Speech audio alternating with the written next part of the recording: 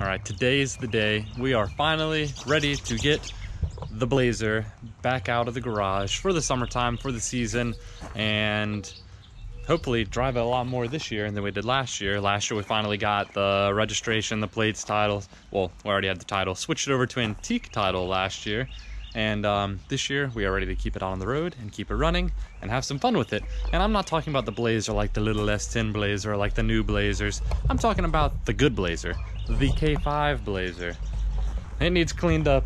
It definitely needs some work done to it. And this year, we're hoping to get some more stuff done and, uh, you know, have some more fun with it. So, we have a new battery for it right there. And we're gonna switch that out, pull it out of the garage, maybe clean it up today. I don't know if I'll have time for it. And other than that, we're gonna get it out of this garage where it just stores in the wintertime and into the bigger garage where we can work on it where all of the tools are. So uh, hang around for a minute. I'm gonna get started up. All right, so we are in the truck right now. We are going to pull it out of the garage, uh, let it run for a few minutes. This is the first time we have started it up this year. Hasn't been running in a couple months. I know it's not really good for it, but it's just been kind of sitting over here.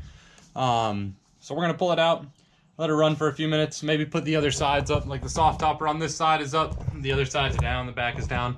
We're gonna go ahead and put all the sides up, and uh, we're gonna pull it out, let it run, we'll pull it in the other garage, if we have time, maybe we will hose it off or something just to get a little bit cleaner. But let's see how it goes, Laura. All right, Laura, you ready to start the truck? Let's pump it a couple times. This is an 89 Chevy K5 with the 350, the 5.7, and here we go.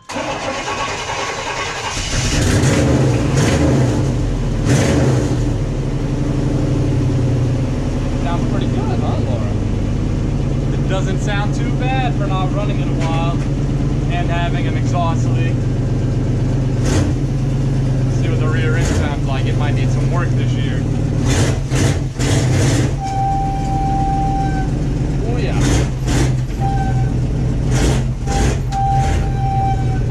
Hold on.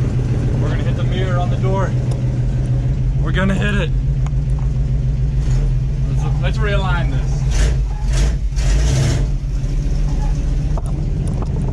Alright. Let's try this again, huh, Laura? Oh, it sounds terrible.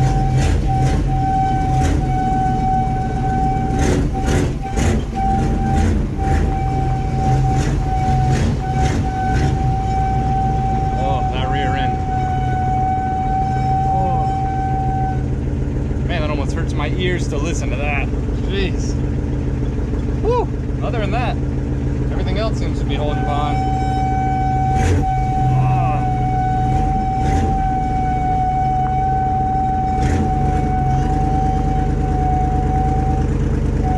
Maybe it just needs some oil to move around. I don't know.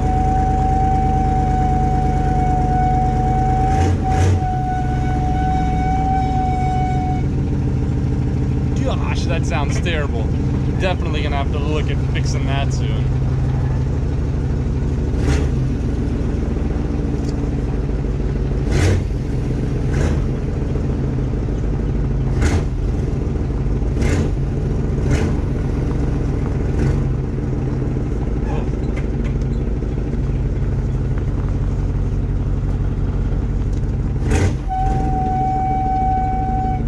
Only sounds bad in Reverse, it doesn't sound bad apparently. Man.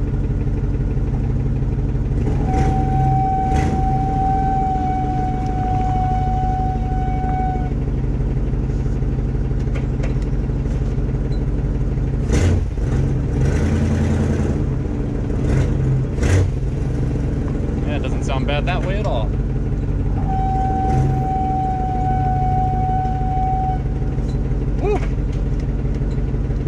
That sounds ugly.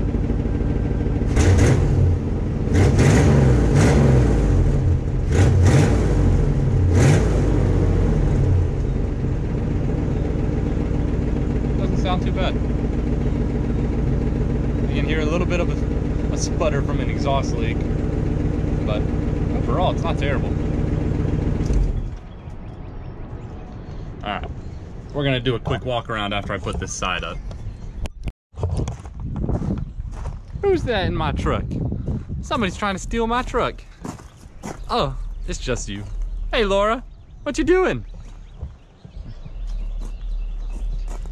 You driving? Doing real good. Be careful with that. Please don't break it. All right, so like I said, 1989 Chevy K5. It's not the most beautiful truck. It's not the ugliest truck. It's fun to drive around in, take off-roading, maybe for a little Sunday drive, go get ice cream or something. Yes, Laura? You want me to hold you? Yeah? Yeah? All right, come here.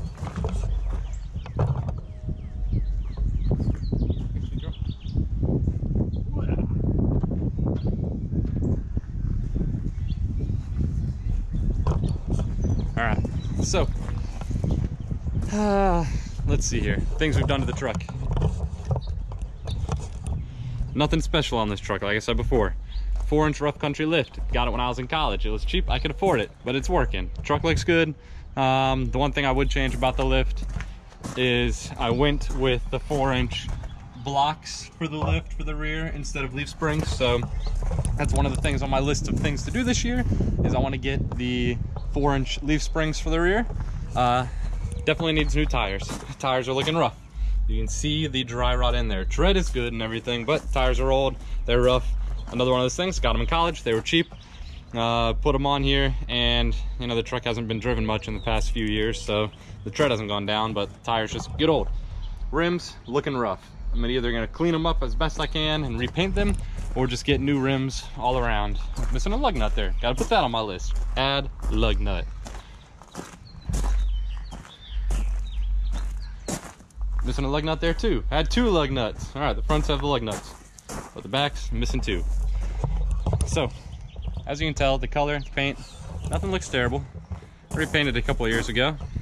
The day I finished painting it, we had a storm come through and it knocked like an umbrella tint thing right into the side of the truck and chipped the paint in a couple spots. And that was a bummer. But we are thinking about doing a different color this year. Um, I don't know, I kind of like the color, but I also kind of want something that's not so obnoxious Although the color is pretty sweet. It's starting to turn a little darker than what it used to be. But I really like the color of the new Dodge Challengers, Chargers. Uh, I think Dodge, I guess maybe it's just a Dodge color. They have the Destroyer Gray and it's pretty sweet looking. I do like it, if I can say so myself. So I'm gonna add that with a little tan accent maybe on this back quarter on each side um, with a little logo and maybe I'll try to find some rims or paint the rims somehow to match the rest of the truck. On the inside of the truck, you will see one of my friends later, I'm sure in some video, um, his dad helped reupholster, he did, not helped, he reupholstered the front two seats with the same material they use for boats and jet ski seats. Have uh, just a black kind of vinyl texture with a carbon fiber on the middle. We got those. And then the back bench seat, he did that one also. He made a cover for that one and it's turned out sweet. We have the soft topper cover. If anybody has a pickup truck or Jeep or Bronco or Blazer or International Scout or anything like that, these soft toppers are awesome. I've had this thing on for 10 years and other than a little bit of sun fading, oh, I forgot to buckle that one, sun fading in the clips, it's been holding up great.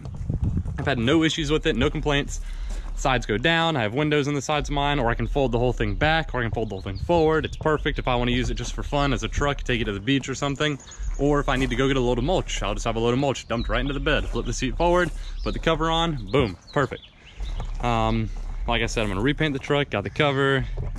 Uh, eventually I would like to get some new bumpers for the truck. I don't know if that'll happen this year because they get pricey for off-road trucks. On Laura, you want some bumpers for the truck?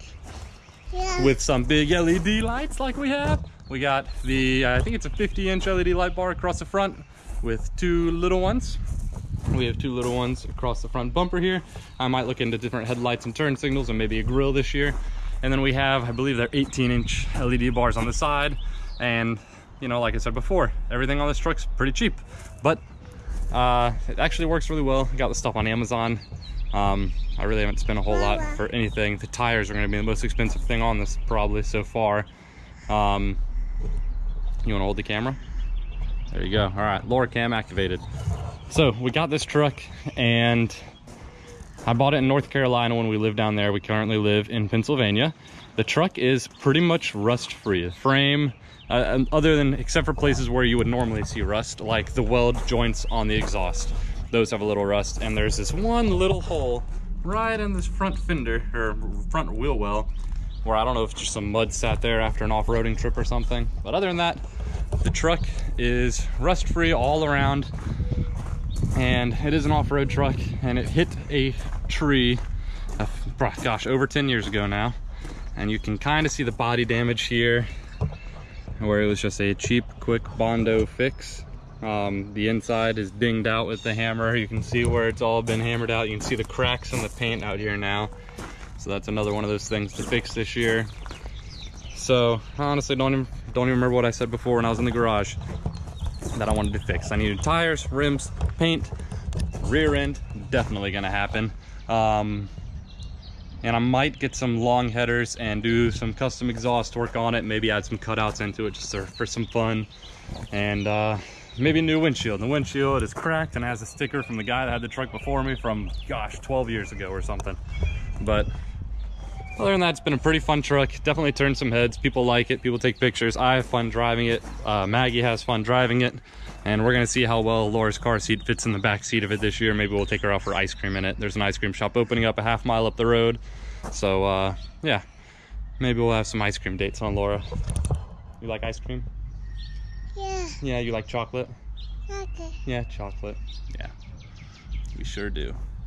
But uh, I will be posting videos as I work on this bad boy and hope to have some fun with it and hope people enjoy seeing it or gives ideas or inspirations because I know that I get that when I watch vehicles or videos of guys rebuilding vehicles. Oh, back to Laura Cam. All right, here you go, Laura. Good job. So, if you saw this, enjoy it and uh, follow along for more of the truck build and we will see you next time, huh, Laura? You want to say bye, Laura? Laura, say bye. Bye. All right. See you later.